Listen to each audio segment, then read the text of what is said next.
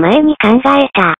セガは社員に責任を問わないことで大きくなったが逆に切り捨て、それができなくなった、が。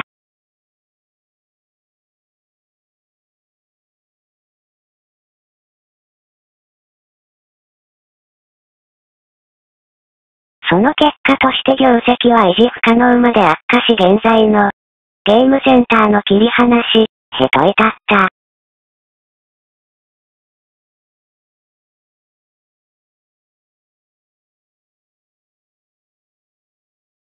言えば、昭和の体制を堅持したままの、その継続に、しかし失敗したわけだが、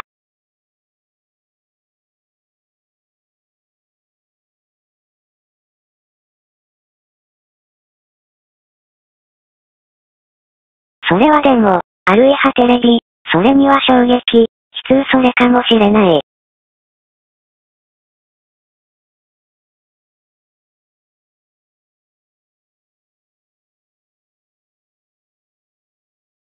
彼らの業界こそ、その上位で立つその環境だ、その末路が。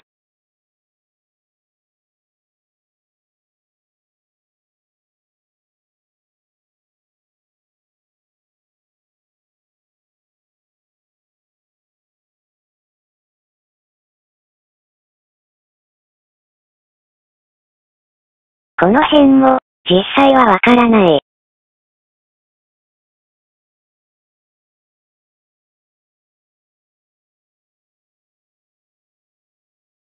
ワクチンパスポートは、廃止が検討されたまま、続報はない。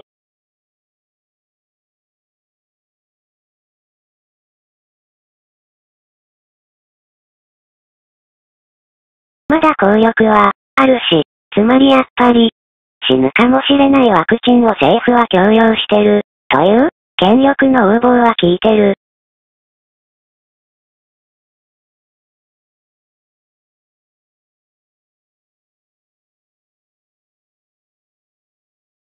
もし死んでも運が悪かっただけだ。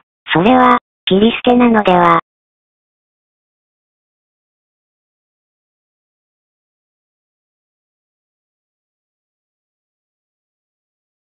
切り捨てを否定しても、肯定しても、漆黒。